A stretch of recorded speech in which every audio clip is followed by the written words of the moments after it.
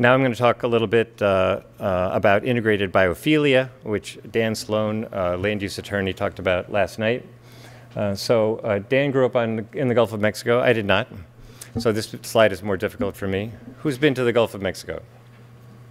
Okay, well then you can imagine it when I say that uh, you're bathed in sunlight, there's a lovely breeze coming off the water, the pelicans are flying by, and you get a feeling of well-being and a feeling even of confidence and ability to solve problems. And this comes from connection to nature. And everybody knows this. We're, we're hardwired to experience this in a positive way.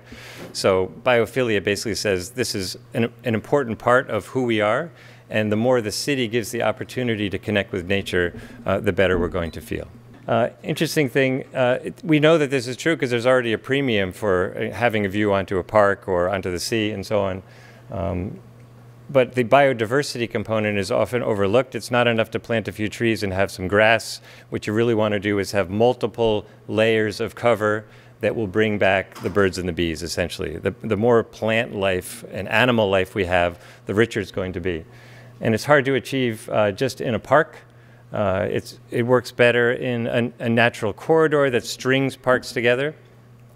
Um, and there are some opportunities uh, to do that, obviously, you know, within, within reasonable distance of, of Lee Highway and even in some places along it.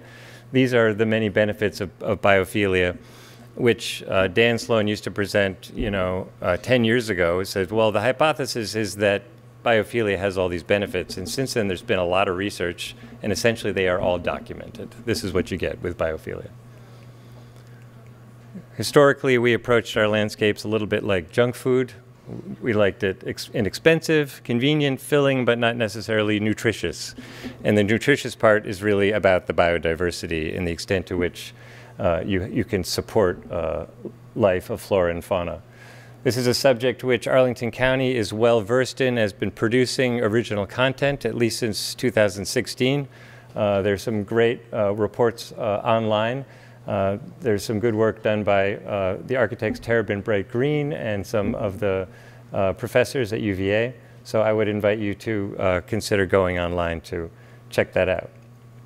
This is Dan's recipe for how to do it, essentially, and it emphasizes thinking in clusters, uh, which makes sense when you're talking about the flora and the fauna all in one place and creating a real natural environment, not just a, a sort of park playground type approach layering purposes, you know, twofers. If you buy a tree, don't just buy a tree that provides shade. Buy, buy one that will, uh, you know, be inviting to the birds and the bees in the neighborhood. Choose plants that are native. Don't use fertilizers. These are all, you know, key aspects of what makes a successful uh, natural environment.